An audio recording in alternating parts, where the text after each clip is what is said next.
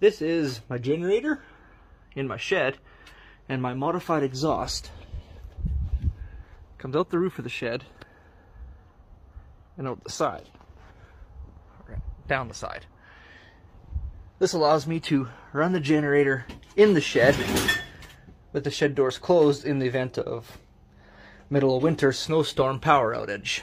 It's an inverter generator and it's got what I've called a unalive yourself plug. This plugs into the generator.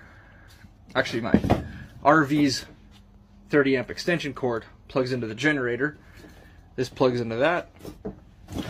And this back feeds into the dryer outlet. Not the safest way to do it, but that's the way I do it.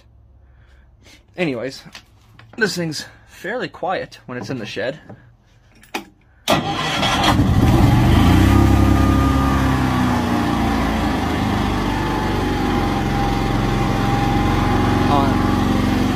On, eco mode.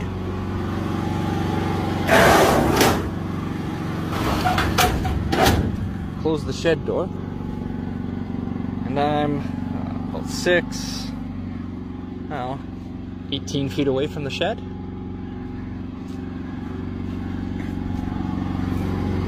Put a, put a load on it, 1500 watts out of the 3000 that's available.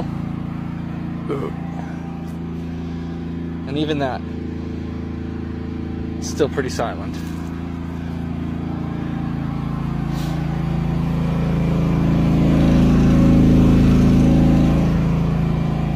That's a little muffler used for uh, diesel heater, those diesel fired uh, Chinese heaters.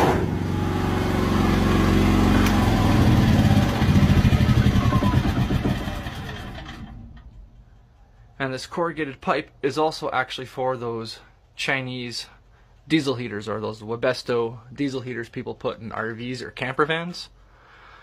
Hose clamped to a piece of copper pipe. And when it goes through the roof, it's wrapped in a bunch of uh, exhaust heat wrap, that fabric heat wrap, so it doesn't rattle. And there we go. That's how I can run my generator in my shed. Got a hole there for just a little bit of fresh air intake. I might put one on the side there hooked up to a fan that powers up when I turn the generator on just to blow all the heat out of here. But so far, that's what I got. Here's my electrical panel. See how it is off. All these breakers are still on. I have power in my house. Oh, that's falling down. Okay, I'm gonna have to fix that. Anyways, um, I still have power in the house.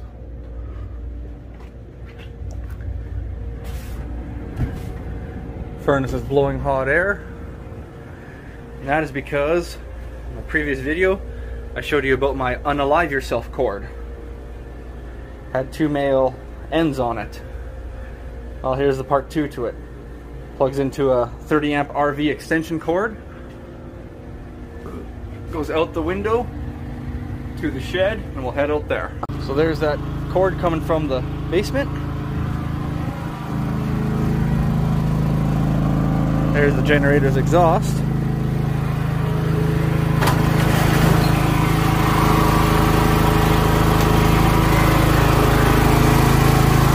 There's the generator just working away.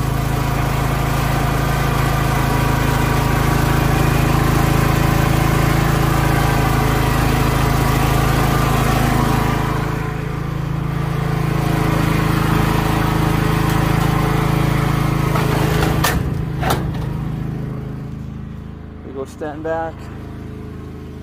I don't know, 20-ish feet. There it is. And inside, as you can see, all of the appliances are on.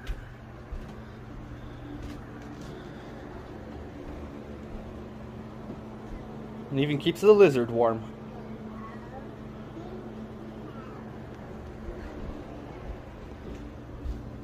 We'll throw on that microwave. And let's see if this microwave trips the generator.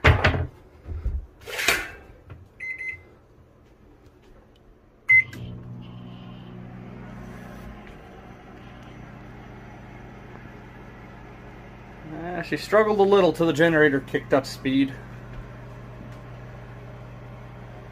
But I think in the event of an actual power outage, I'll just take the eco mode off, let the generator run full throttle, so that it doesn't have to try and throttle up while producing more amperage.